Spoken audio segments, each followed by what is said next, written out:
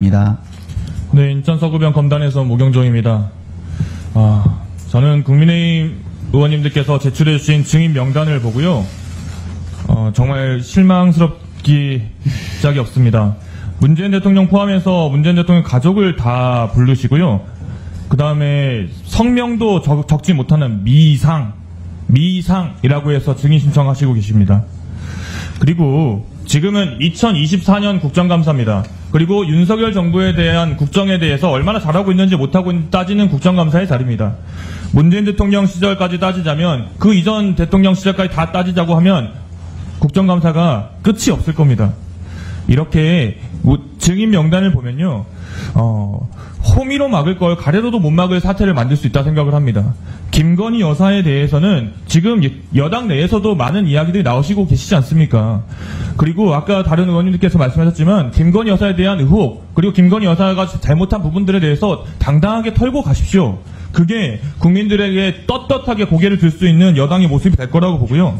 자꾸 이재명 방탄, 이재명 방탄 이야기 하시는데 재판 일주일에 세 번 넘게 받고 있습니다. 이미 수사기관 수사 받을 만큼 받았고 재판도 받고 있는 상황이에요. 방탄하려고 해봤자 뭘 방탄할 수 있습니까? 진짜 방탄하려고 하는 거는 김건희, 윤석열 그 두 사람 아닙니까? 입법부로서 행정부를 견제해야 감시해야 되는 입법부로서 역할을 다해야 됩니다. 그게 여당이든 야당이든 여야 균형이란 이야기 하시지 마시고요. 여야가 힘을 합쳐서 나라가 똑바로 움직일 수 있도록 같이 힘을 합쳐야 되는 거 아닙니까? 그게 영부인이든 심지어는 대통령이든 같이 힘을 모아야 된다 생각을 합니다. 그리고 아까 상설 특검 이야기하시면서 위헌이다 뭐 이런 이야기 하시고 무용한 절차라고까지 말씀하시는데요. 방금 이소영 의원님이 말씀하신 것처럼 합헌 결정 나온 사례 있습니다. 그리고 결혼 이후의 이야기를 왜 계속하느냐? 2차는 2차 주가 조작 결혼 이후에 한 겁니다.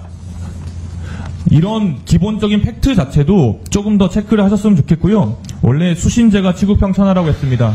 국가를 다스리시고 있고 국가를 국정을 다 책임지고 있는 윤석열 대통령이라면 본인 부인부터 배우자부터 한번 챙기셔야 될 필요가 있고 대통령이 못하고 있다면 집권 여당이 나서서 먼저 큰 소리를 쓴 소리를 해야 된다 생각합니다.